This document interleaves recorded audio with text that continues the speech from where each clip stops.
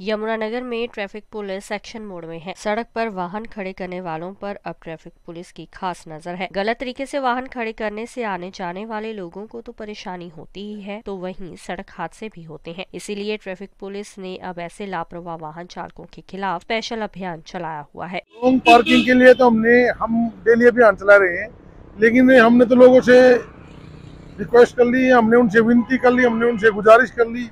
लेकिन बार बार कहने के बावजूद भी जब नहीं मानते तो फिर उनका चलान करें।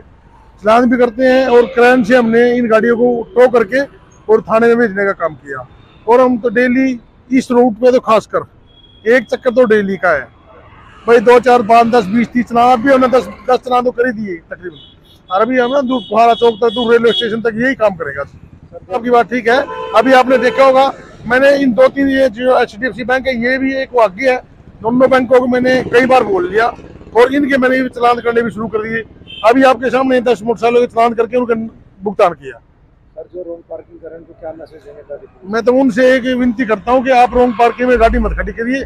जहाँ पर पार्किंग की जगह है वहीं पर ही गाड़ी खड़ी करिए।